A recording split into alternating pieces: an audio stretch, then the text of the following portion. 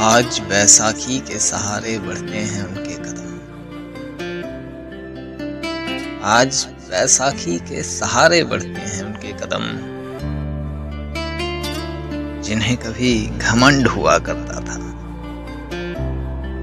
अपने पास